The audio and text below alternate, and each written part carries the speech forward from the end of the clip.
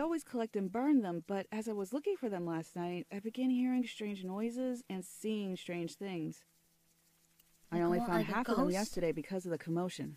Could you go find the last eight and The bring them to me? locomotion. Eight? Wait, what? You know, it's actually funny. I was uh, thinking about because I knew I wanted to change my name um on Twitch uh for my debut, I guess re-debut, and like kind of rebrand. You know, also on YouTube. So, Dooby was my backup name for.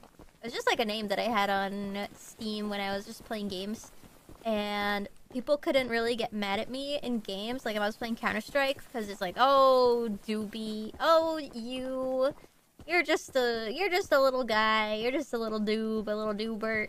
They couldn't get angry because the name was so silly. And for a while, I was gonna be called uh Locomochi for because it sounds like locomotion. and uh, you know, Mochi is a cute name. But I think Dooby is just like a little bit better, right? Locomochi. I'm loco, guys. So yeah. I do like Dooby better. Dooby better. Do better. Do better. Yeah! Excuse me.